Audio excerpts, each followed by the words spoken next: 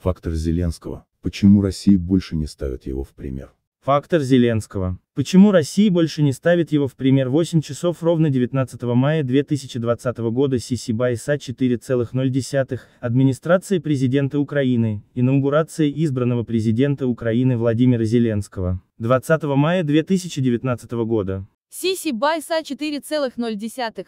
Администрация президента Украины. Владимир Корнилов Все материалы завтра ровно год с момента принесения присяги бывшим комедиантом Владимиром Зеленским в качестве президента Украины.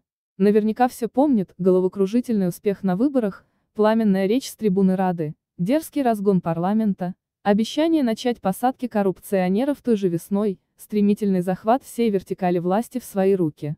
Вспоминается, как тогда многие заговорили о примере Украины для России. Различные аналитики всерьез рассуждали о факторе Зеленского, мол, чем успешнее окажется его президентство, тем большее влияние это окажет на российскую политику. И вот прошел год. Почему-то никто уже не говорит об этом примере и об истории успеха. Нельзя сказать, что молодой президент Украины вообще ничего за этот год не сделал. Если не предвзято проанализировать те обещания, которые давал Зеленский во время выборов, то можно утверждать, что над реализацией одного конкретного пункта своей программы он работал усиленно. Речь о короткой фразе «формирование прозрачного рынка земли». Этот пункт в ходе кампании не расшифровывали, не поясняли, что имеется в виду полная распродажа. Но затем многие сторонники президента постоянно ссылались на него, указывая, мол, смотрите, мы строго выполняем программу за команды. Правда, в тех же обещаниях лидера квартала 95 значилось, что выручка от продажи земли пойдет на счеты рядовых украинцев.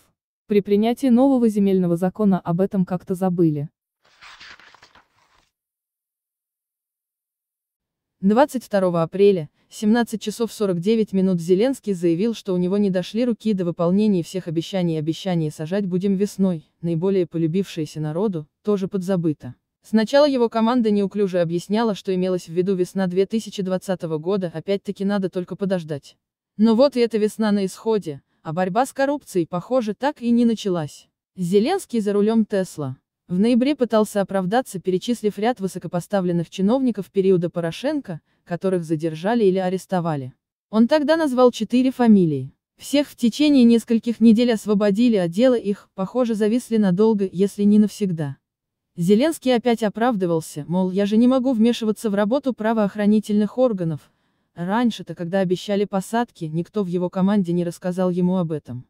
Но самое интересное, что совсем недавно, когда президент угрожал мэру Черкас наказанием за нарушение правил карантина, он пообещал кары от СБУ и МВД, то есть все-таки президент какое-то влияние на данные органы имеет. Видимо, если только речь идет не о коррупции.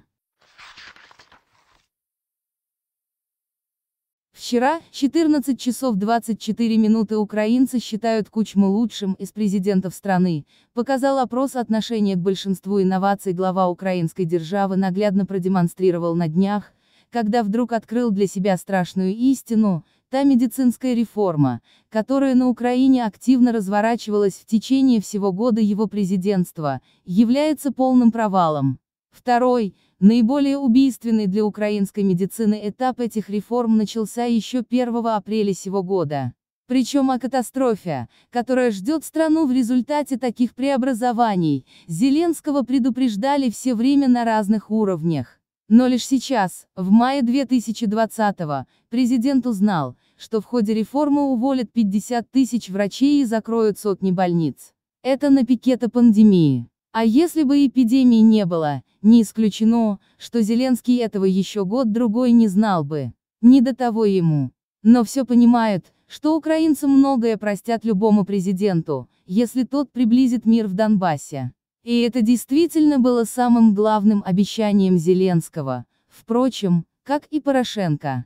Он даже был готов встать на колени перед кем угодно ради этого. И в своей инаугурационной речи новый президент торжественно провозгласил, наша первостепенная задача прекращение огня в Донбассе. 17 мая, 17 часов 14 минут в Софеде оценили заявление о смене Зеленским стратегии по Донбассу, однако затем новый президент заявил, что не пойдет на полное разведение сил в Донбассе. А это значит, что конца конфликту не видно. В итоге мы, наоборот, столкнулись с эскалацией ситуации, ОБСЕ теперь фиксирует резкое усиление обстрелов и рост количества жертв среди мирного населения. Что самое печальное, сейчас постоянно приходят сообщения о ранениях детей. Заметьте, все это на территории ДНР и ЛНР, но Зеленский, уже неоднократно посетивший Донбасс, ни разу не выразил сожаления по поводу погибших граждан Украины и раненых детей с той стороны. В чем он совершенно не отличается от предшественника? Последние демарши Зеленского свидетельствуют о том, что президента Голобородько, которого выбирали жители Украины, больше нет. Появилась слегка обновленная версия Петра Порошенко. Чего только стоит продление запрета на российские соцсети шаг, который кандидат в президенты Зеленский критиковал год назад. Причем, заметим, продлил он запрет под нажимом своего предшественника, фактически по требованию того. И даже пошел дальше,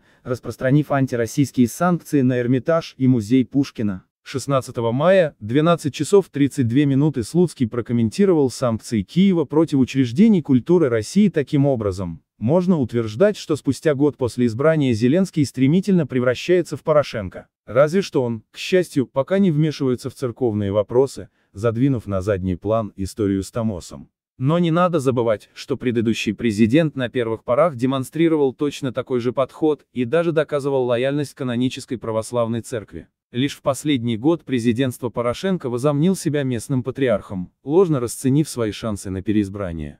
Так что Зеленский, возможно, еще отметится и здесь, раз в остальном полностью перенимает курс ушедшей власти. Пока рано говорить, что кредит доверия народа действующий президент Украины уже исчерпал. Несмотря на значительное падение рейтингов, он все еще остается самым популярным политиком в стране. Правда, судя по некоторым комментариям представителей Z-команды, отрыв от реальности у них нарастает. Так, заместитель руководителя Офиса президента Юрий Костюк договорился до того, что это у Зеленского был завышенный кредит доверия к людям, а не наоборот. А избирателей, которые смеют критиковать президента, уже потихонечку стали называть биомассой. 15 мая, 18.32 медиавойны МИД прокомментировал блокировку российских интернет-ресурсов на Украине.